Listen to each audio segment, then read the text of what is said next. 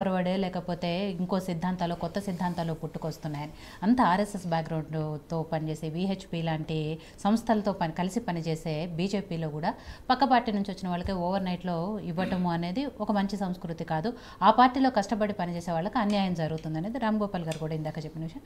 Even బీజేపీలో కూడా చాలామంది అంతర్గతంగా మాట్లాడుకుంటున్న విషయం కూడా. సో ఒకటి వాస్తవంగా భారతీయ జనతా పార్టీ మొదటి కూడా ఒక భిన్నమైనటువంటి పార్టీగా ఈ యొక్క పార్టీ యొక్క ప్రారంభం ప్రారంభమైంది. అంటే ఒక ఐడియాలజికల్గా ఉన్నటువంటి పార్టీ మాస్ పార్టీగా రూపాంతరం చెందిన తర్వాత సో కొంత భారతీయ జనతా పార్టీలో కూడా ముఖ్యంగా ఎస్పెషల్ సౌత్ ఏరియాలోకి వచ్చినప్పుడు ఇక్కడ ఉన్నటువంటి రాజకీయ పరిస్థితులు ఇక్కడ ఉన్నటువంటి మనీ పాలిటిక్స్ ఈ అన్నిటిని కూడా బేస్ చేసుకున్నప్పుడు ఇక్కడ కొంత అంటే బార్న్ అండ్ బాటమ్గా ఓ ఐడియాలజీ కోసం నిలబడేటువంటి కార్యకర్తలకు కొంత భారతీయ జనతా పార్టీలో అన్యాయం జరుగుతున్నటువంటి పరిస్థితి వాస్తవం. మీరు అన్నట్టుగా మొన్నటి ఎన్నికల్లో కూడా కొంత దీని మీద భారతీయ జనతా పార్టీ అంటే ఈ యొక్క కార్యకర్తలకు రాలేదు అనే ఒక అసంతృప్తి ఉన్నది. అయితే ఇక్కడ అంటే బీఆర్ఎస్ ఒరబడి అంటే స్వరాష్ట్రం వచ్చిన తర్వాత తెలంగాణలో కేసీఆర్ యొక్క విధానాలతో పార్టీలు మీరు చూశారు. అంటే రాజకీయాలంటే కోట్లు ఉంటేనే ఓట్ల కోట్ల రూపాయలు ఉంటేనే మనం పోటీ చేయాలనేటువంటి వాతావరణాన్ని క్రియేట్ చేశారు. ఇంత ముందుకు మిత్రుడు చెప్తున్నాడు సరే ఆ రోజు బల్క సుమన్ లాంటి వాళ్ళు లేకపోతే కిషోర్ గాద కిషోర్ లాంటి వాళ్ళను యూనివర్సిటీ నుంచి నిజంగా కూడా పంపించిండు. ఇంతకుముందు చెప్పిన ఎవరు ఏదైతే రామ్మోహన్ కావచ్చు దయాకర్ కావచ్చు ఎందుకు నిలబడలేకపోతున్నారు? అంటే ఈ సంస్కృతి కల్చర్ ఏదైతే తెలంగాణలో అలవాటు చేశారో. సో దీని కారణంగా నిలబడలేటువంటి పరిస్థితులు వస్తున్నాయి. సో మా పార్టీలో కూడా భారతీయ జనతా పార్టీలో కూడా ఇప్పుడు పదిహేడిట్లో వాస్తవంగా అంటే బార్న్ అండ్ బాటంలో ఉన్నది డాక్టర్ మా యొక్క కిషన్ రెడ్డి గారు తర్వాత బండి సంజయ్ గారు అనేది ఒక చర్చ ఉంది. అయితే ఒకటి మాత్రం నిజం పార్టీ గెలిచేటటువంటి పరిస్థితి అయితే దేశంలో ఉంది. మోదీ మళ్ళీ తిరిగి రాబోతా ఉన్నారు. సో ఈ సందర్భంలో అంటే అధికారంలో ఉన్నప్పుడు కార్యకర్తలు నాయకులను చేసినప్పుడు అది పార్టీలకు ఉపయోగం. అది భారతీయ జనతా పార్టీ కానీ కాంగ్రెస్ కానీ ఏ పార్టీ అయినా. ఎందుకంటే ఒక బార్న్ అండ్ బాటంలో ఉన్నటువంటి ఒక ఐడియాలజీతో ఉన్న పార్టీ నుంచి వచ్చిన కార్యకర్త సో కష్ట నష్టాలు వచ్చినప్పుడు కూడా పార్టీ కోసం నిలబడతారు. సో ఇవాళ మనం చూస్తూ ఉన్నాం. మొన్న వచ్చిండు జితేందర్ రెడ్డి గారు. సో తొంభై తొమ్మిదిలో వచ్చారు అధికారంలోని అనుభవించాడు. సో మళ్ళీ వేరే పార్టీలో అధికారం కోసం పోయారు. మళ్ళీ రెండు వేల పంతొమ్మిదిలో వస్తే మేము రెడ్ కార్పొరేట్ వేసాం సో ఆయనకు నేషనల్ ఎగ్జిక్యూటివ్ పోస్ట్ ఇచ్చాం. తన కొడుకుకు పో ఏది ఎమ్మెల్యే ఇచ్చాం.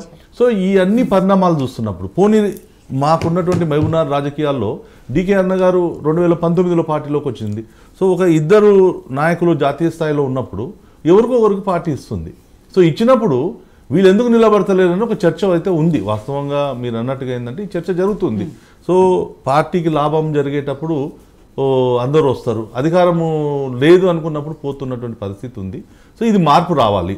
సో ఇది మార్పు రావాలంటే పార్టీలో ఈ యొక్క డబ్బు ఈ యొక్క ప్రభావాలు రాజకీయాల్లో మార్పు రావాలి.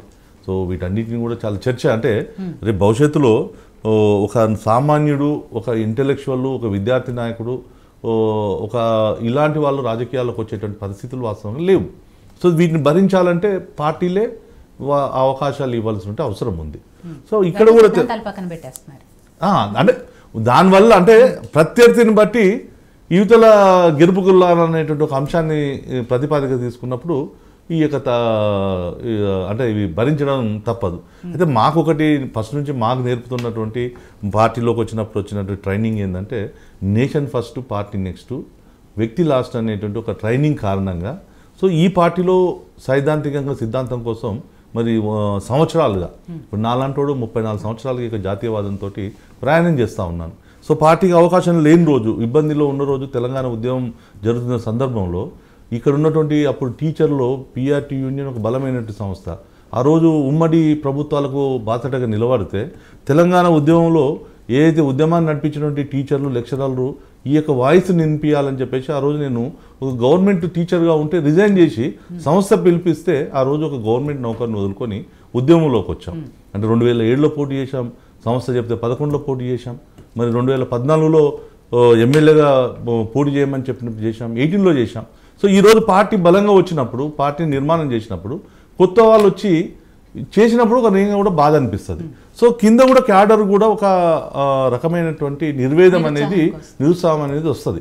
అంటే ఒక ఇన్నేళ్ళ నుంచి ఒక పార్టీ సిద్ధాంతం కోసం తన యొక్క లైఫ్ను వదులుకొని జీవి అంటే తన యొక్క ఉద్యోగాలను వదులుకొని ఇంత నిలబడ్డప్పుడు ఒక పార్టీ బలంగా ఉన్నప్పుడు ఎందుకు నిలబడలేదని ఒక చర్చ అయితే జరుగుతూ ఉంటుంది. అయితే మా పార్టీలో ఒక ఉన్నటువంటి అంటే ప్రధానంగా బీజేపీలో ఉన్న ఒక గొప్పతనం ఏంటంటే సో ఇది కూడా ఒక స్పోర్టివ్గా తీసుకోవడం. అంటే నేషన్ ఇంట్రెస్ట్లో ప్ర పార్టీ పైన ఆలోచన చేసి నిర్ణయం తీసుకున్నప్పుడు సో దాన్ని కట్టుబడి ఉండడం అనేది కొంత భారతీయ జనతా పార్టీలో మెరుగ్గా ఉన్నారు. అంటే నేను మొత్తం హండ్రెడ్ పర్సెంట్ ఉన్నారు అంటలేను. సో మా దాంట్లో కూడా కొంత ఐడియాలజికల్ విభేదించినాక చూసి పార్టీతో చూసి వెళ్ళిపోయిన వాళ్ళు ఉన్నారు. కానీ కంపేర్ టు అదర్ పార్టీస్తో పోల్చుకున్నప్పుడు సో ఇక్కడ నిలబడడం అనేది ఉంది. కానీ భవిష్యత్తులో పార్టీ ఇట్లా ఉంటుందని మేము అనుకోం. అంటే ఇలాంటి ప్రతిసారి ఇలా జరుగుతుందని. ఎందుకంటే మేము ముప్పై ఏళ్ళ నుంచి తెలంగాణలో అధికారం వచ్చినప్పటి నుంచి అటు ఉమ్మడి ఆంధ్రప్రదేశ్లో ఉన్న మేము అధికారం రాలేకపోయాం. తెలంగాణలో రాలేకపోయాం. కార్యకర్తలందరూ సంవత్సరాల నుంచి వెయిట్ చేస్తున్నారు. సో ఇవాళ బీఆర్ఎస్ను కాంగ్రెస్ను ఫైనాన్షియల్గా నిలబడి కొట్లాడాలని అంటే కొట్లాడలేని పరిస్థితులు ఉన్నాయి కాబట్టి. సో పార్టీ ఆలోచన ఆ విధంగా చేసినప్పుడు కూడా మా దగ్గర ఉంది. సో అక్కడక్కడ చాలా నియోజకవర్గాల్లో ఉన్నాయి. మురళీధరరావు గారు ఆయన చాలా సీనియర్ ఆల్ ఇండియా జనరల్ సెక్రటరీగా పనిచేశారు. సో ఆయన కూడా ఆయన కూడా చెప్పాడు. సో పార్టీ కోసం పోటీ చేయడం ఆ రోజు దీన్ దయాళ్ ఉపాధ్యాయ గారు చెప్పేవారు. మాకు దీపం గుర్తున్నప్పుడు జనసంఘలో. సో గెలుస్తామని కాదు గుర్తును ప్రజల్లోకి తీసుకుపోవాలని. అంటే పార్టీ కోసం పోటీ చేయమనేటువంటి సందర్భాలు ఉన్నాయి. పార్టీ కోసం కూడా వద్దు అంటే పార్టీకి పనిచేసిన సందర్భాలు ఉన్నాయి. సో అలాంటి కార్యకర్తల నిర్మాణం ఉన్నటువంటి దాంట్లో ఉన్నాం కాబట్టి. సో మిగతా పార్టీలతో పోల్చుకున్నప్పుడు మా దాంట్లో వచ్చే అసంతృప్తి చాలా తక్కువ అయితే ఉందండి. అంటే ఇప్పుడే స్టార్ట్ అయింది మీరు అన్నట్టు. ముందు ముందు ఏం జరుగుతుందనే చూద్దాం కానీ. సరే మధు గారు సరే ఏ పార్టీ ఎవరికి టికెట్లు కేటాయించినా ఏది చేసినా కూడా రేపు పోటీకి వచ్చేటప్పటికి తెలంగాణలో పార్లమెంటు స్థానాలు బీఆర్ఎస్ అసలు పోటీలో ఉండదు. కాంగ్రెస్ వర్సెస్ బీజేపీగానే ఈ ఎలక్షన్స్ ఉండబోతున్నాయి అనేది అటు బీజేపీ నాయకులు చెప్తున్నారు కాంగ్రెస్ పార్టీ నాయకులు చెప్తున్నారు. అండ్ కొంతమంది విశ్లేషకులు అదే చెప్తున్నారు. మీడియాలో కథనాలు కూడా రోజు అవే వస్తున్నాయి. అసలు బీఆర్ఎస్ పార్టీ ఒకటి రెండు స్థానాలు గెలవటం కూడా చాలా కష్టంగా ఉంటుంది అనేది. బీఆర్ఎస్ పార్టీలో ఏం చర్చ నడుస్తుంది దీనికి సంబంధించి? అది మొత్తం మీడియా సృష్టి మేడం. అధికార పార్టీలకి వంతు పాడుతూ వాళ్ళు గెలుస్తారు వీళ్ళు గెలుస్తారని ఇప్పుడు ఎవరైతే ప్రధానమైనటువంటి మీడియాలు ఉన్నాయో అవి చేస్తున్నటువంటి విషయం. కానీ కేసీఆర్ గారు వంద శాతం కూడా వంద రోజుల కాంగ్రెస్ పరిపాలన మీద ఎవరు కూడా సాటిస్ఫైగా లేరు. ఇప్పుడు మన అన్నలు ఇద్దరు కూడా పాపం వాళ్ళ ఇంటర్నల్ పార్టీలో వాళ్ళే దాదాపు తీవ్రమైన అసంతృప్తితో ఉన్నారు.